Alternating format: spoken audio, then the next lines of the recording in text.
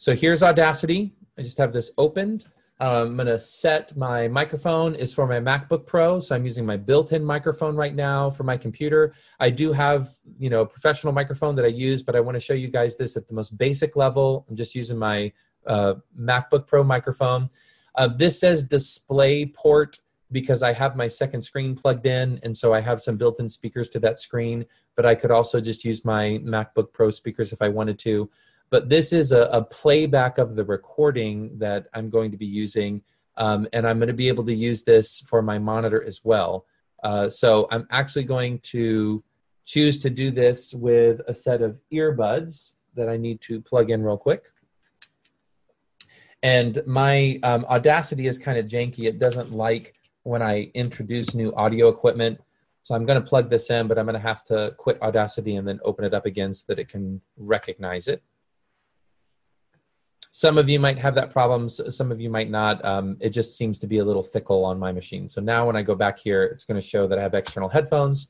So my output is set as external headphones so that I can hear what it is I'm recording. I've got my microphone set as my MacBook Pro uh, microphone, built-in microphone to my laptop. I'm going to click to start my monitoring right here on the microphone. I'm just going to click in there, and you can see that it's green as I'm talking. Check. Check one. Check. So I know the microphone is working. I want to keep it away from clipping, which is where you see all of this red data being collected. That the microphone is really hot. It's it's really sensitive to what I'm doing, and I have my violin already with me. I'm going to play just a little scale and just test out how the sound is being recorded.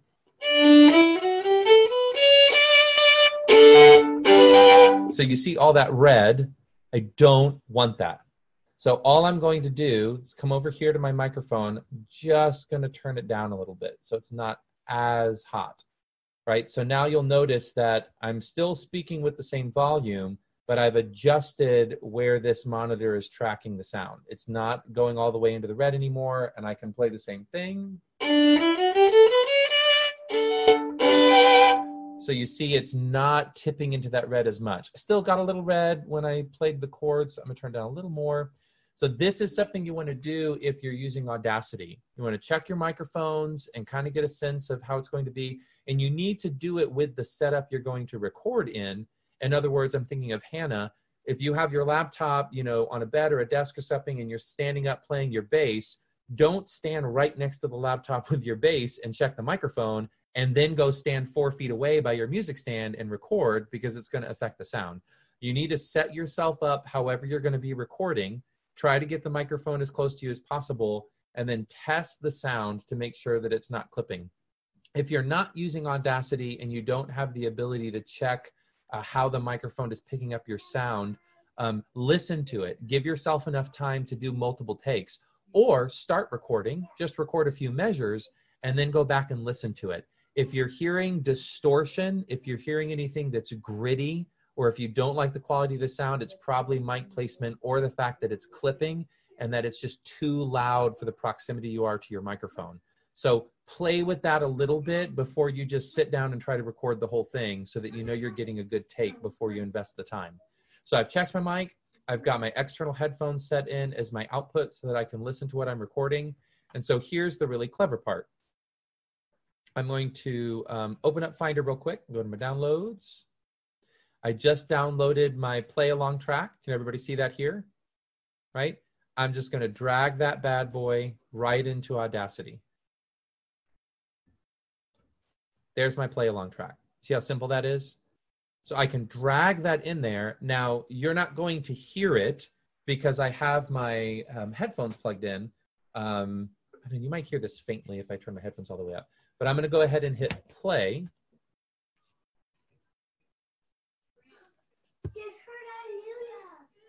Can you guys hear that very faintly? I'm trying to put my headphones up to my microphone. So I have this now playing through my headphones. The important thing for you to understand is that you can't hear it. That's intentional. You can't hear the play along track. I can hear it in my headphones. That's the point. And I'm gonna let me try to bring the screen up so you can kind of see this parallel. And I'm gonna do speaker talk. Um, actually, let me do this and isolate myself. There we go. Everybody should be able to see me now in the Audacity screen. So I've got my headphones so I can hear my play along track. Pop these on. And I've got my instrument and my music.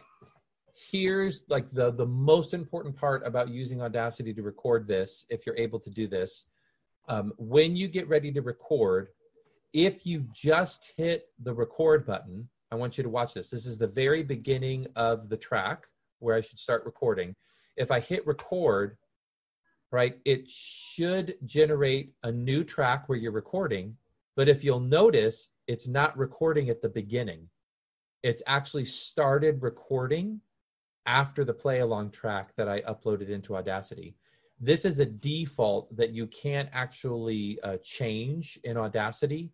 Anytime you hit the record button, it will start recording after the last audio data that was collected.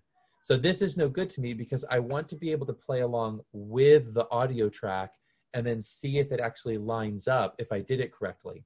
This is a very easy fix. You go to the beginning of wherever you are. You have two options.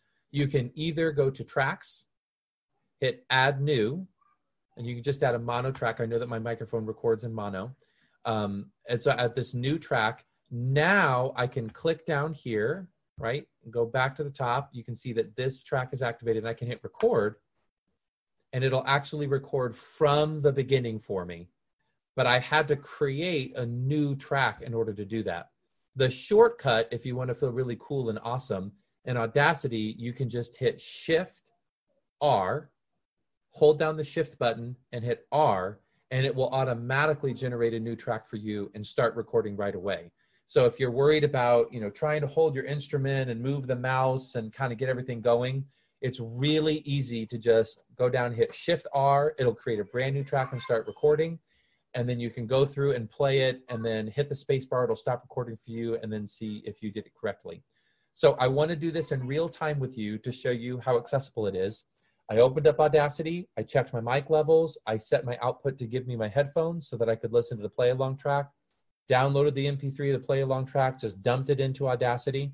I'm going to hit Shift R so that I can record a new track and play along with the MP3. I've got my music over here to the side. Forgive me because I'm going to have to count through all the rests, but I'm going to record myself and then I'll see if it lined up correctly. Okay, so here is Shift R. I can hear the play along track. Counting my rests. Three, four,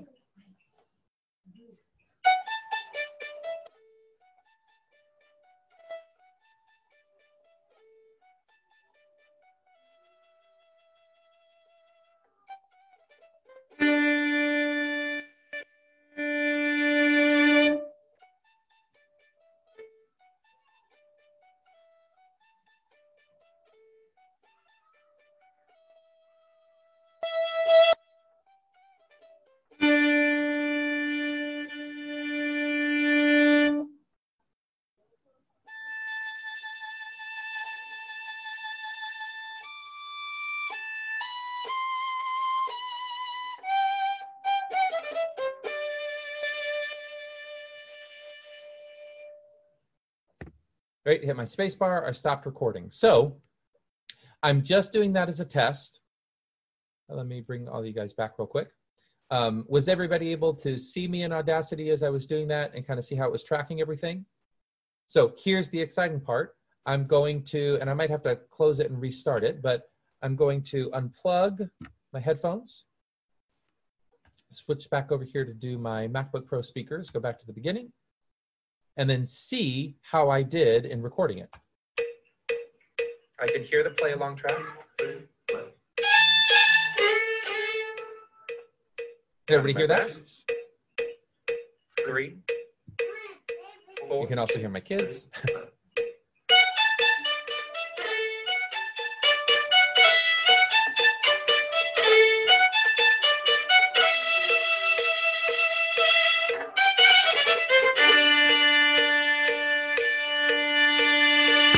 So there it is, right? I've recorded myself along with it. There are tiny little issues you hear with how my grace notes were lining up.